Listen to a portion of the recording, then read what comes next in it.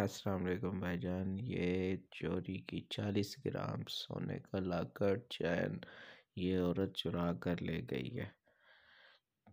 ये सादकाबाद में ज्वेलर की दुकान में ये वारदात कर गई है। ये देखें इससे बचे ये लोग बहुत ही फ्रॉडी और चोर होते हैं।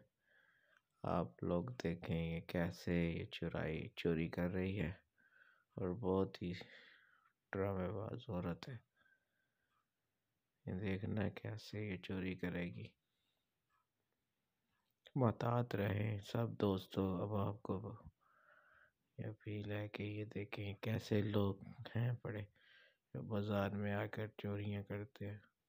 सामान देखते देखते गले में डाला है और गले में डाल के और उसके बाद उस दुकानदार से बातें करने के बाद ये औरत सारा का सारा, पता नहीं कैसे ये ले उड़ी है। इसको देखें, ये देखें, गले में डाल रही है? गले में डाल के। चालीस ग्राम ये वज़न है, इसके तकरीबन मालियत पौने चार लाख रुपए है। ये लाकट सेट, बहुत ही फनकारी से उठा के लेके जा रही है। ये देखना।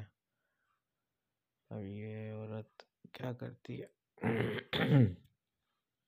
वो देखो छुपा लिया। ये अब उसको बातों में लगा रही है दुकानदार को। ये अब कोई चीज़ और उठा ली वो नहीं दे रही, वो लाकट देखो अंदर रखा हुआ है।